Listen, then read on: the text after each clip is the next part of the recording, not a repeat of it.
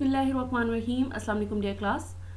आज की जो है हमारी यूनिट नंबर दो में से जो हमारा लेक्चर है, बीस मुंतखब अहदीस का माँ, मतन, तर्जमा और शरा अब यहाँ पर जो है बीस अहदीस हैं, लेकिन इनमें से जो है कुछ ऐसी अहदीस हैं जो बहुत इंपॉर्टेंट हैं। तो इंशाल्लाह मैं साथ साथ कोशिश करूँगी कि वो आपको मैं बताती चलूँगी ये कौन कौन सी अहदीस हैं जो अपने लाजमन याद करनी है। बसमीम हदीस नंबर एक है, अन अब्दुल्ला बिन उमर बिन इब्न ख़ताब।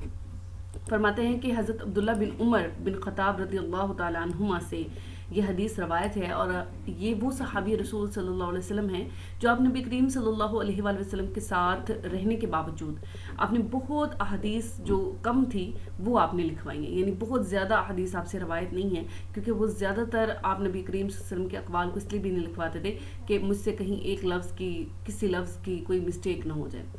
वाला फरमाते हैं, समियातु मैंने सुना। हज़रत उमर फरमाते हैं कि, मैंने सुना रसूलुल्लाह सल्लल्लाहु अलैहि वसल्लम को फरमाते, बुनियल इस्लाम इस्लाम की बुनियाद।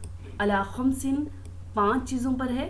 पहली चीज़ है शहादत गवाही देना। अल्लाह कि अल्लाह ताला के सिवा कोई मबूद नहीं वो अन्न मोहम्मद अब्दू व रसूल कि मोहम्मद सल्लल्लाहु अलैहि वसल्लम अल्लाह के बंदे व रसूल और उसके रसूल हैं।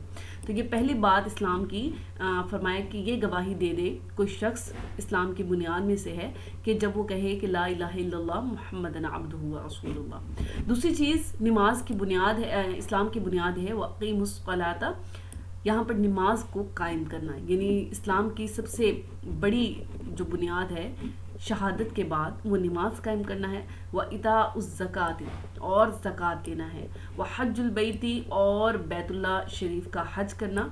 व सम रमादान, और रमादान मुबारक के रोज़े रखना।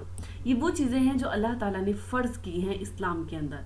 और यही इस्लाम की बुनियाद है। अगर इनमें से कोई एक चीज़ भी कोई मुसलमान मिस करता है तो वो उसकी बुनियादें ही खोखली हैं।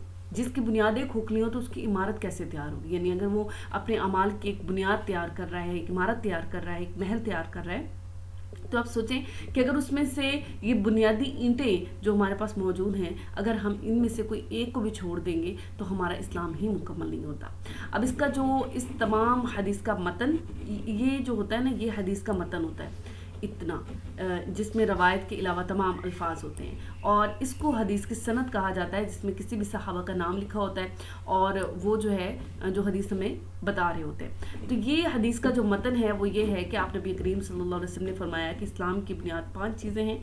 उनमें से एक तो ये है कि अल्लाह ताला के लिए गवाही दी जाए और रसूलुल्लाह सल्लल्लाहु अलैहि वसल्लम को अल्लाह का अब यानी बंदा और रसूल माना जाए और नमाज़ कायम की जाए, ज़क़़त दी जाए और हज किया जाए और रमदान के रोज़े रखे जाए। सही बुखारी की हदीस है, इस पर तमाम मुतफ़ हैं। मुस्लिम भी यानी बुखारी शरीफ वाले जो इमाम हैं वो भी और इमाम मुस्लिम भी। उसके बाद आ जाते हैं इस हदीस की शरह की तरफ़। तो यहाँ पर लिखा है कि शरह मतलब ये है कि हमने पाँच चीज़ों की वजाहत करनी है जो इस्लाम का रुकन है। उसमें जो है, आप देखें कि अब हम जब शरा लिखते हैं तो बहुत सी बातें जो है ना हम खुद से कर रहे होते हैं। तो यहाँ पर सबसे पहली चीज़ जो है तोहद और रिसालत है। यहाँ पर आप ये भी टाइटल दे सकते हैं कि गवाही देना। ठीक है? इस्लाम का पहला रुका है गवाही देना, क्योंकि हमने ऊपर हदीस में भी यही टाइटल पढ़ा है। तो अगर आपको तोहद और रिसालत भूल जाता है तो आप यहाँ पर ये भी टाइटल देना दे सकते हैं कि गवाही देना यहाँ एक टाइटल है। और कलमा तयबा ला मोहम्मद रसूलुल्लाह जो है, ये इस्लाम का पहला, पहली बुनियाद है। अगर कोई बंदा भी मुसलमान होता है तो वो सबसे पहले यही चीज़ करता है ठीक है तो वो सबसे पहले कलमा पढ़ता है और ये गवाही देता है कि मैं अल्लाह ताला के साथ जो है किसी और को शरीक नहीं ठहराता। और यहाँ पर जो है नेक्स्ट आ जाते हैं इकाम सलाती अब ये कहेंगे कि ये इतना बड़ा जो लंबा सारा टाइटल लिखा हुआ है, ये वही अल्फाज हैं जो तकरीबन हमारे जहनों में भी हैं कि जो है कलमा पढ़ने के बाद एक शख्स मुसलमान हो जाता है। ईमान, यहाँ पर ना दो चीज़ें हैं। ईमान लाना और इस्लाम लाना। ठीक है? ये बहुत मज़े की बात है।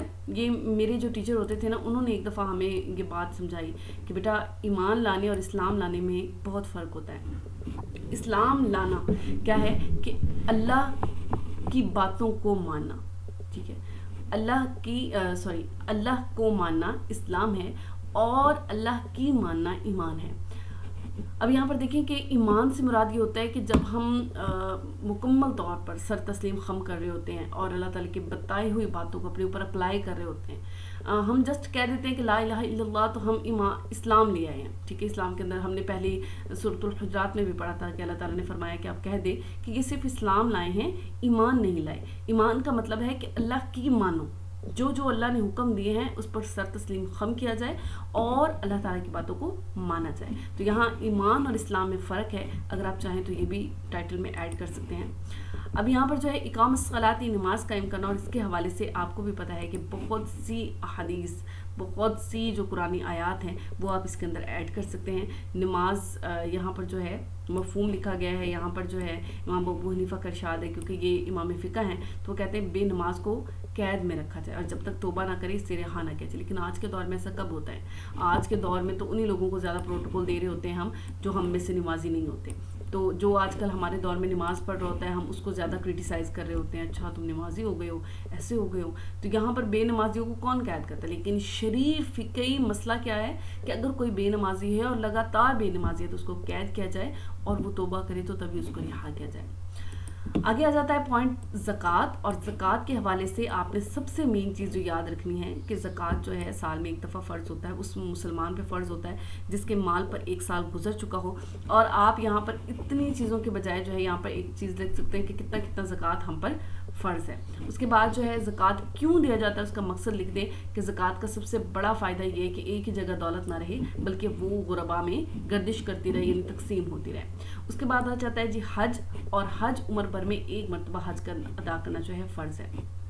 अब यहाँ पर अगर किसी शख्स ने सरो सामान होने और सब कुछ होने के बावजूद हज ना किया तो वो उसकी जो ज़िंदगी की इबादत है, वो भी ज़ाय होने का ख़तरा है। तो यहाँ पर जो है, उसके पास तमाम हज के साजो सामान मौजूद हो तो उस वक्त एक दफ़ा जाए और यहाँ पर आप जो है, हज के लघवी और असलाही माना भी लिख सकते हैं। इससे क्या होगा कि आपका टाइटल थोड़ा लॉन्ग हो जाएगा। आप यहाँ पर लघवी और असलाही माना जो है ऐड करें और उसके बाद इन आप अपने अल्फाज में बयान करें कि हज को क्यों किया जाता है, क्योंकि हज़रत इब्राहीम इस्लाम की याद को ताज़ा किया जाता है, ठीक है?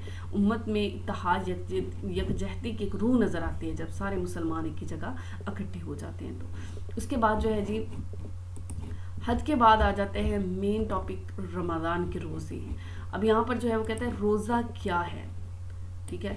और इस, जिस सबक को नमाज़ रोज़ाना पाँच वक्त याद दिलाती है, इसे रोज़ा साल में एक मरतबा, पूरे एक महीने में याद दिलाता रहता है। तलु फजर से लेकर गरूब आफ्ताब आफ्ताब तक जो है हमें भूखा रहना होता है। और यानी कुरानी हकीम क्या कहता है कि रोज़ा किस चीज़ को कहते हैं? ये यहाँ पर मैंने इस टाइटल को हाईलाइट किया है कि रोज़ा इंसान को परहेजगार बनाता है।